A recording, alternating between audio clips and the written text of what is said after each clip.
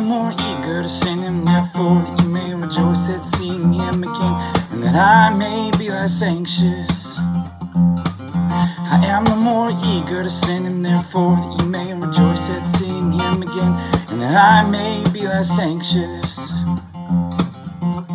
So receive him in the Lord with all joy and honor such men.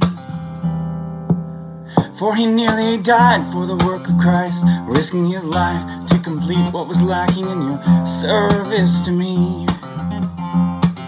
For he nearly died for the work of Christ, risking his life to complete what was lacking in your service to me.